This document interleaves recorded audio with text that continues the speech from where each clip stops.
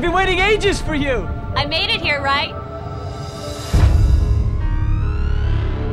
I come from the only known solar system with two twin planets, each with its own and opposite gravity. Now, in our world, it's possible to fall up and to rise down. I was just sent a script for the film, uh, which I read. I agreed to meet Juan, the director. And the minute I met Juan, I knew straight away that he was going to create a world that was going to be a really exciting place to kind of exist in.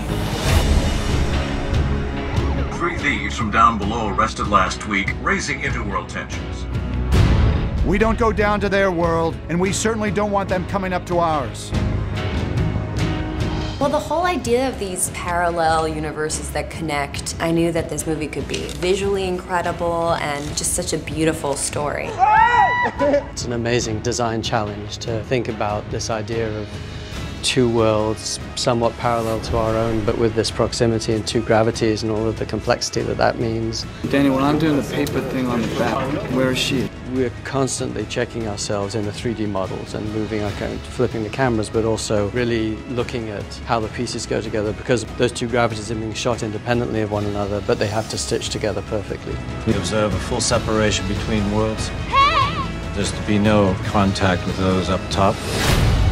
Imagine if we could go anywhere we wanted to. Water, please! Come on, come on, come on! Quick, Adam! Hey, no! No! I need your help. These weights will hold you down in that world. Take them off when you want to come back. The gimbal is basically a room that's suspended in the middle of a big giant wheel, and the room itself moves 360 degrees with everything inside of it. And the camera moves with the room, so you can't tell that the room is moving, but you can see me flipping upside down.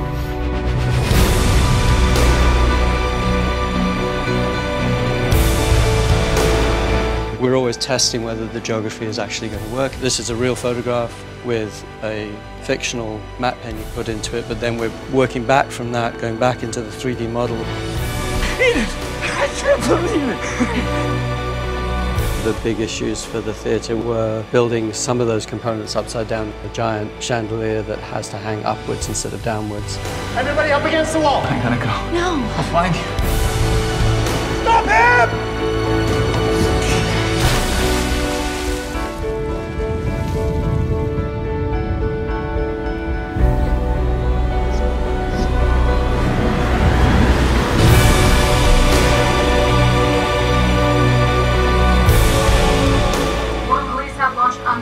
Manhunt for the fugitive. You're gonna go out there and you're gonna get yourself killed. The best directors I've worked with create an energy on the set. They really set the tone. With Juan, the way he does it is with such enthusiasm that you really want to do your best work for him. What is really nice when you meet directors who have a vision, they're giving you the freedom to join in with them. It's been a lot of hard work, but I don't think I would have got through it if it wasn't such a unique world. If I could just give my life some kind of hope, then I'm gonna do it.